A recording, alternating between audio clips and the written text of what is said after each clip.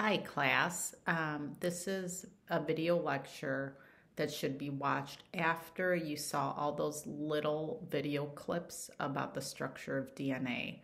Um, it wasn't me in those videos, but I picked really good ones from your textbook and one from YouTube and they're really short.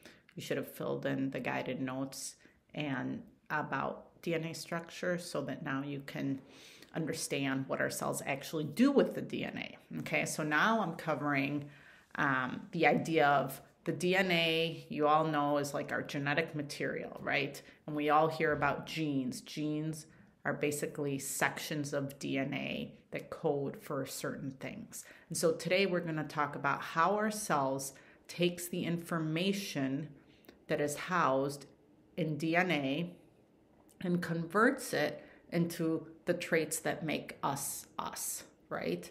And it really all comes down to something that I've tried to lead into is that anything in our body that does anything is a protein.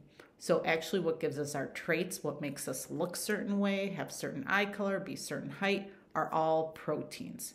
We've talked about proteins being enzymes. Proteins are also the pigments that make our eye color. Uh, proteins are also the enzymes that facilitate reactions to have us grow, um, the hormones that um, have us grow. So, everything that does something in our body is a protein.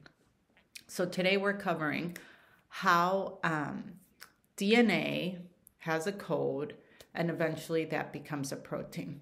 So, this as a whole is referred to as like the central dogma of biology, the flow of genetic information. So, now I'm looking at the slide here.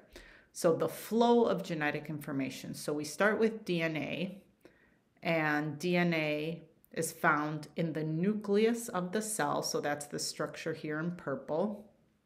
DNA cannot leave the nucleus. And if you recall from the uh, work you've done already this week, DNA is a double helix, it's double stranded and it has this code, which is the order of those bases A, T, G, C, G. That's the code because if you compare my DNA code to your DNA code, it's different, right? Um, so DNA has the code, but DNA can't leave the nucleus. And that code determines the proteins that make us up. And proteins are made out here in this structure called the ribosome. All right, so somehow our cells need to take this code from our nucleus out to where the protein is made, which is in the ribosome. DNA can't leave the nucleus, so our cells require a messenger. There's the nucleus, and that messenger is going to take the code from DNA and during a process referred to as transcription, copy the code into a different nucleic acid molecule, RNA.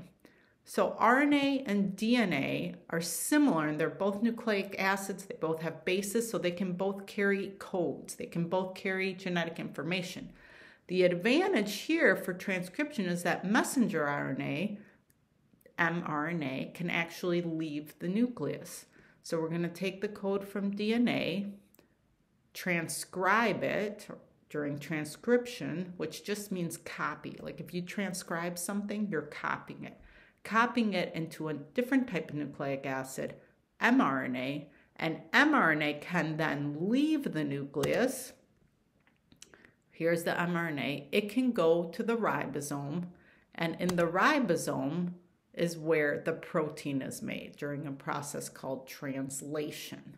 So the reason this process is called translation is because at the ribosome, we're actually converting the language. We're going from the language of a nucleic acid, the A, U, G, C, and we're converting it into the actual protein.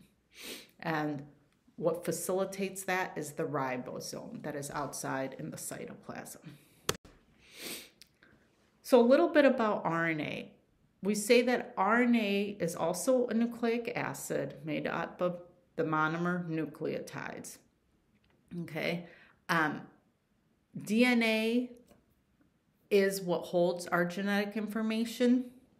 And during transcription, we have to convert that DNA into an RNA molecule because RNA controls the structure of a protein. So DNA in a gene determines the order of nucleotides in the RNA molecule, right? So the code in DNA is going to then be copied into the RNA molecule, and then the RNA is going to control how the protein is made. That's the order of it. So, a little bit about RNA. If um, you watched all the videos about DNA, you should know that DNA is referred to as a double helix because it's made of two strands of nucleotides. the backbone, recall, is the phosphate sugar, and the inside are the two bases. And there was that base pairing rule that adenine went with thymine, guanine went with cytosine. Now, RNA is similar because it's also nucleic acid.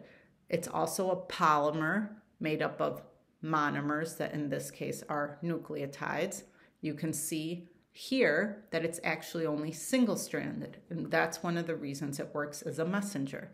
DNA, being double stranded, is too large to exit the nucleus and take the code to the ribosome itself. RNA is single stranded, so it's smaller and it can exit the nucleus and go to the ribosome. All right, so RNA is single stranded. It has a nucleotide composed of a phosphate sugar and a base, phosphate sugar base. But unlike DNA, which has the sugar deoxyribose, that's why it's DNA, RNA has the sugar ribose, and that's why it's RNA. Another difference between DNA and RNA is that the base thymine is replaced with uracil. So the bases in DNA were thymine, adenine, guanine, cytosine. In RNA, we have an adenine, guanine, cytosine, and uracil instead of thymine. It's written here. So the four types of bases in RNA are uracil, adenine, cytosine, and guanine. Uracil replaces thymine of DNA. Um, there are two types of RNA. Right now, we're really only talking about the messenger RNA, the one that exits and takes the code from the nucleus and the DNA to the ribosome. In my next video, we'll be talking about transfer RNA. So, the process of transcription right, needs to occur. And I had this video, the slide in my introduction. Transcription is where the DNA is transcribed into RNA. So I'm going to ask you, where is this taking place? It's taking place in the nucleus, right? Because that's the point of transcription. It's taking the code from the DNA into a messenger RNA, the messenger RNA can exit the nucleus and go to the ribosome. So in this picture here, you see that you see up here how that DNA is that double helix where the bases are in the middle. C goes with G, T goes with A. That's the base pairing rule. So during transcription, that double helix is opened up. It kind of unwinds in a region. That's the region that we want to make the protein from. And from there, do you see this other strand? This is your messenger RNA transcript. So that messenger RNA is really copying the code from the DNA. Do you see how the DNA has T? The RNA puts the uh, A nucleotide there. If the DNA has G, the RNA puts the C. That's the base pairing rule. And you can tell that this RNA is almost exactly like the other strand of the DNA, right? Except that if the DNA is A, the RNA can't put T because there is no T, so it puts the U, right? So this is why we say that during transcription, the RNA is really just copying the code from the DNA, right? And how does it copy it? Because of that base pairing rule. Because if it just opens up the DNA and uses one strand as a template, right, it can take that strand and make the complementary bases on the RNA, and it's basically the same code as the DNA. once it's copied the code by using the base pairing rule, it can detach and then this RNA will go out of the nucleus. So, why does transcription need to occur? Because the DNA can't exit the nucleus. Right? Um, I wrote DNA can't leave the nucleus, but it has the code for how to make proteins. What is the final product of transcription? That messenger RNA molecule. And where is this messenger RNA going? It's going to exit the nucleus and go to the ribosome.